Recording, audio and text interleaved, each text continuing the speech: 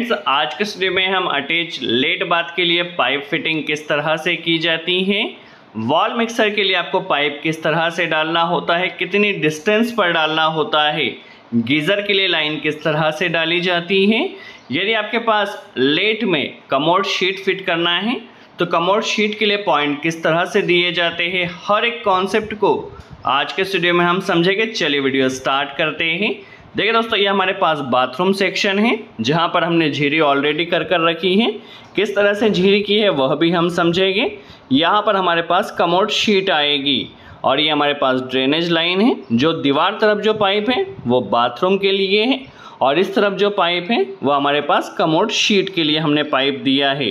किस तरह से हमने झीरी की है, हर एक चीज़ को समझेंगे। अभी के लिए देखिए, हमारे पास जो इनपुट लाइन आएगी वह सवा इंच में आएगी। ठीक है, यहाँ पे ठंडे पानी का जो नल लगेगा, वो पौन इंच में लगेगा। किस तरह से दिया जाएगा, वह भी हम समझेंगे। और यहाँ से जो वाटर टैंक है वाटर टैंक से लाइन यहाँ पर आएगी सवा इंच में। ठीक है, यदि मटेरियल की बात करते हैं क्या क्या मटेरियल की रिक्वायरमेंट होगी तो ये हमारे पास देखिए ब्रास एल्बो है, जिसमें हमारे पास नल के लिए पॉइंट गीज़र के लिए पॉइंट शावर के लिए पॉइंट दिया जाएगा। ये हमारे पास सवा इंच की एल्बो है।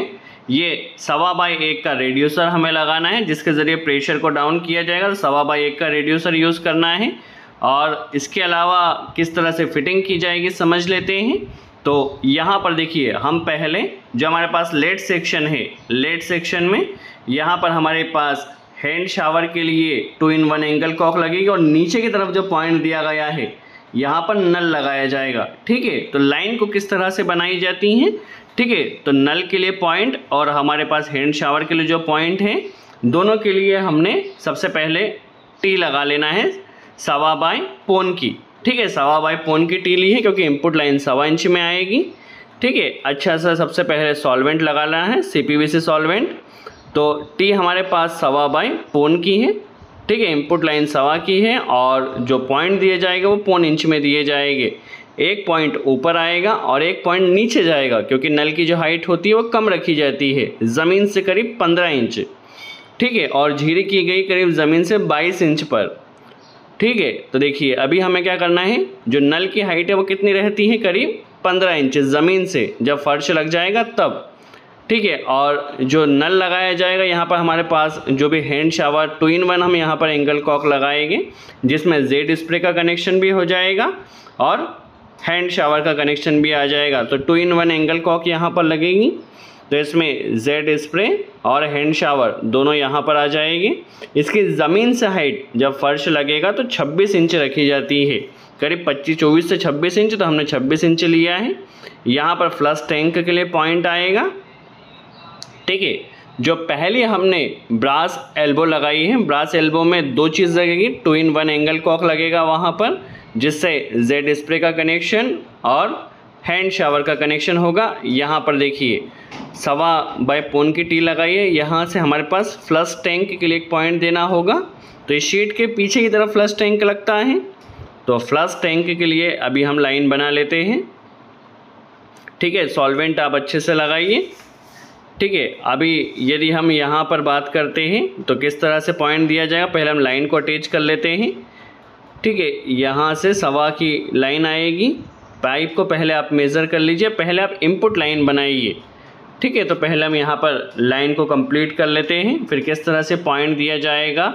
वॉल मिक्सर के लिए पॉइंट किस तरह से दिया जाएगा, सब कुछ समझेंगे। ठीक है, इस पाइप को पहले अटैच कर लेते हैं। चलिए सॉल्वेंट आप अच्छे से लगाइए और करीब आधे से पौन इंच अंदर पाइप ने जाना चाहिए प्रॉपर फिटिंग के लिए। देखिए, अच्छे से पाइप लगा लिया है।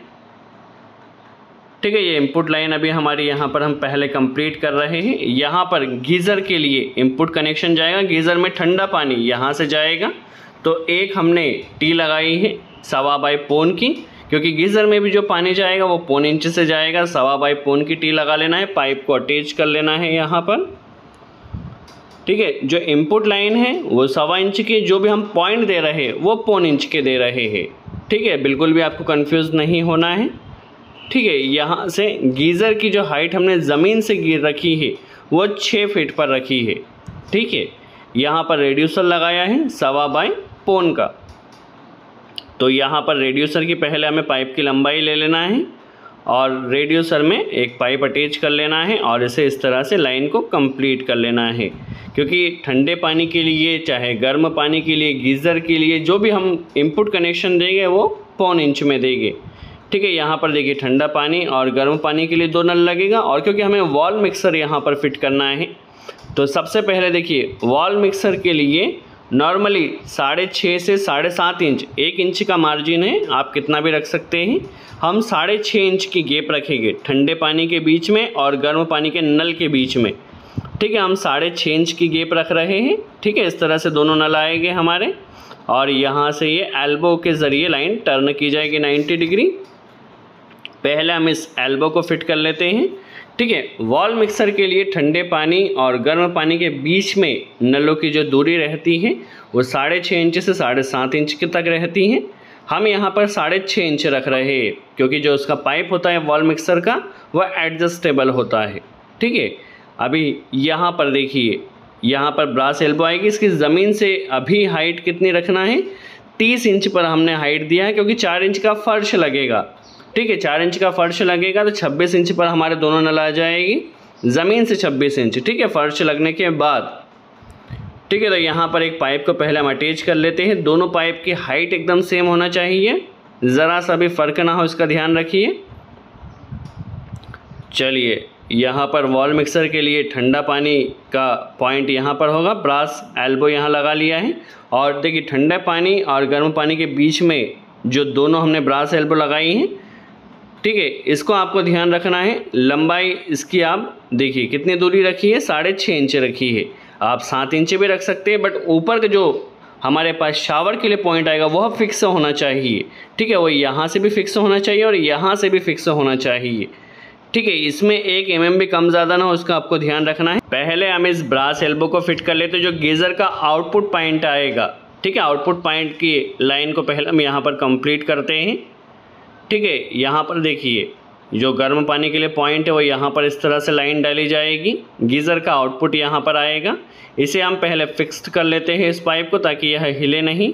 अभी देखिए, यहाँ से जो शावर का पॉइंट है शावर के पॉइंट से ठंडा पानी और गर्म पानी के बीच में हम यहाँ पर करीब साढ़े सात इंच रख रहे हैं। ठीक है शावर से गर्म पानी भी साढ़े सात इंच पर शावर से ठंडे पानी के लिए जो पॉइंट है, वह भी साढ़े सात इंच पर। ठीक है, वहाँ पर एक एम mm भी कम ज़्यादा ना हो, इसका आपको ध्यान रखना है वॉल मिक्सर प्रॉपर फिटिंग करने के लिए। ठीक है, ये हमारे पास जो शावर का पॉइंट है, वो करीब सात इंच पर, क्योंकि बाथरूम की हाइट हमारी ज़्यादा है तो हमने सात इंच पर शावर का पॉइंट दिया है। नॉर्मली बाथरूम की हाइट यदि कम हो तो साढ़े छः फिट से लेकर के सात फिट पर जितनी भी हाइट हो, आप दे सकते हैं।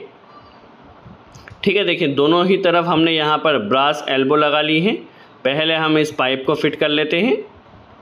ठीक है? पहले हम इस पाइप को प्रॉपर फिट कर देते हैं कील के ज़रिए। अब इसे कितना ऊपर या नीचे करना है, इसको हम यहाँ पर मेज़र कर लेंगे। तो देखिए, अभी हम यहाँ पर देखते हैं साढ़े छः इंच हैं। दोनों ठंडे पानी और गर्म पानी के बीच में। और देखिए, शावर से गर्म पानी साढ़े सात इंच, शावर से ठंडा पानी साढ़े सात इंच। ठीक है? तो शावर से ठंडा पानी और शावर से गर्म पानी के बीच का पाइप की डिस्टेंस एकदम सेम होना चाहिए। ठीक है, बाकी इसमें एडजस्टेबल आप कर सकते हैं। और देखिए, अभी हम लेवल टेप के सहायता से देख लेते हैं, दोनों ही नलों के बीच में, देखिए, ज़रा भी एक एम भी कम ऊपर नीचे नहीं होना चाहिए। तो लेवल टेप के ज़रिए हमने देख लिया है, ठंडा पानी और गर्म पानी के बीच का दोनों जो पॉइंट है वह एक ही लेवल में है। अभी हम यहाँ पर जो गीज़र का गर्म पानी का कनेक्शन दिया जाएगा, उसके लिए पाइप डाल लेते हैं। ठीक है, देखिए पाइप फिट कर लिया है। और लेवल टेप की सहायता से मेज़र भी कर लिया है। ठीक है, एकदम सेंटर में लेवल टेप हमारी आ रही है। ठीक है, साढ़े छः इंच हमारी यहाँ पर डिस्टेंस है, दोनों ही नलों के बीच में और ऊपर से साढ़े सात इंच है। ठीक है, बिल्कुल भी आपको कंफ्यूज नहीं होना है। वॉल मिक्सर फिटिंग प्रैक्टिकली किस तरह से की जाती है, इसके ऊपर भी हम जल्द से जल्द वीडियो बनाएँगे। अभी हम, देखिए, जो हमारे पास गीज़र के लिए आउटपुट कनेक्शन जो गर्म पानी का कनेक्शन आएगा वह यहाँ से आएगा, ठंडे पानी का कनेक्शन यहाँ से होगा। ठीक है आई होप आपका यहाँ पर कॉन्सेप्ट क्लियर हो रहा है। चलिए, अभी हम जो ज़मीन से, ठीक है, ज़मीन से हाइट की बात कर रहे हैं, जो गीज़र फिट किया जाता है छः से साढ़े छः फिट पर किया जाता है। अब ये बाथरूम की आपकी कितनी हाइट है, छत की, इसके ऊपर डिपेंड करता है। हमने यहाँ पर छः फिट पर हम गीज़र के लिए पॉइंट दिया है। ठीक है तो पाइप के पहले आप लंबाई को मेज़र कर लीजिए और उसके अकॉर्डिंग पाइप की कटिंग कर लीजिए। यहाँ पर अच्छे से हमने सॉल्वेंट लगाकर और यहाँ पर देखिए, जो गर्म पानी के लिए गीज़र का आएगा, वो यहाँ पर कनेक्शन कर देना है। और देखिए, अभी हमारा क्योंकि पाइप हिल गया है तो फिर से आपको उसे एकदम फिक्स करना होगा। पहले हम पाइप फिट कर लेते हैं और इसे प्रॉपर आप फिक्स कीजिए, ज़रा भी इसने हिलना नहीं चाहिए। ठीक है, यहाँ पर ठंडा पानी के लिए कनेक्शन आएगा गीज़र में तो इसे भी हमने पहले पाइप की लंबाई का मेज़रमेंट कर लेना है और यहाँ पर एक ब्रास एल्बो लगा लेना है और ब्रास एल्बो लगाकर पाइप की जितनी भी लंबाई है, उसकी लंबाई के अकॉर्डिंग आपको पाइप की कटिंग कर लेना है और इसे कनेक्ट कर देना है। ठीक है तो ये हमारे पास गीज़र के लिए ठंडे पानी का इनपुट कनेक्शन भी हो चुका है, गीज़र का आउटपुट कनेक्शन भी हो चुका है। ठंडे पानी के लिए नल भी हमने कनेक्ट कर दिया और शावर के लिए पॉइंट भी कनेक्ट कर दिया है। तो हमारी यहाँ पर बाथरूम फिटिंग लगभग लगभग कंप्लीट हो चुकी है। अब कमोड शीट के लिए पॉइंट किस तरह से दिया जाएगा समझ लेते हैं। और जब फिटिंग हो जाए तो कील के ज़रिए आप लाइन को फिक्स्ड कर दीजिए। चलिए, अभी हम यहाँ पर जो यहाँ देखिए, सबसे पहले हमारे पास नल आएगा, कमोड शीट के लिए एक नल लगाया जाता है। तो इसकी ज़मीन से हाइट हम रख रहे हैं करीब पंद्रह इंच। ठीक है तो पंद्रह इंच पर एक यहाँ पर ब्रास एल्बो हमें लगा देना है, जिसमें हमें नल का कनेक्शन करना होगा। ठीक है, क्योंकि जो नीचे बाल्टी रखी जाती है बाथरूम में, उसकी ही हाइट करीब 10 से 12 इंच होती हैं। तो नल करीब 15 इंच तो होना ही चाहिए 15 इंच पर हो जाएगा, यहाँ फ्लश टैंक के लिए पॉइंट आएगा।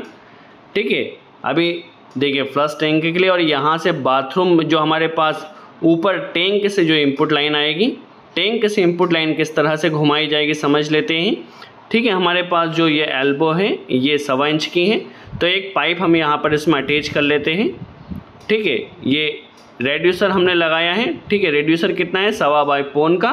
तो सवा बाई पोन के रेड्यूसर को इसमें हमने लगा लेना है। ठीक है, देखिए, सवा बाई पोन का रेड्यूसर इसमें लगाया है। और इसमें एक पाइप हमें अटैच कर लेना है। देखिए, इस तरह से पौन इंच का यह पाइप रहेगा। यह लाइन किस तरह से बनाई जाती है? देखिए, इस तरह से टर्न किस तरह से दिया जाता है, इसे आप केयरफुली वॉच कीजिए। ठीक है, अभी पौन इंच का पाइप हम इसमें अटैच कर लेते हैं। चलिए, इस पाइप को अटैच कर लिया है। अभी इसमें एक हाफ़ सेट हमें लगाना होगा। ठीक है, एक हाफ़ सेट लगकर लाइन इस तरह से 45 डिग्री हमें टर्न करना क्योंकि ये लाइन ऊपर जाएगी। पाइप को क्रॉस करते हुए, ठीक है क्योंकि ये पाइप को क्रॉस करेगी, इसलिए हम इसमें एक हाफ़ सेट इस तरह से लगा देते हैं, और इस तरह से देखिए ये अटैच हो जाएगी। देखिए, इस तरह से ये हमारी लाइन यहाँ पर 45 डिग्री टर्न हो जाए पाइप के ऊपर से यह लाइन निकल जाएगी। आई होप आपका यहाँ पर कॉन्सेप्ट क्लियर हुआ हो, किस तरह से अटैच लेट बात के लिए पाइप फिटिंग की जाती है, गीज़र के लिए पॉइंट किस तरह से डाला जाता है शावर के लिए पॉइंट किस तरह से डाला जाता है वॉल मिक्सर के लिए पाइप किस तरह से डाले जाते हैं। ठीक है, यहाँ पर देखिए पाइप हमारा टर्न करेगा और इसे यहाँ पर हमें फिट कर देना है। तो यहाँ से इनपुट लाइन हमारे पास आ जाएगी। इनपुट लाइन हमने सवा इंच में डाली है, अच्छे से सॉल्वेंट लगाइए लीकेजिंग की समस्या नहीं हो।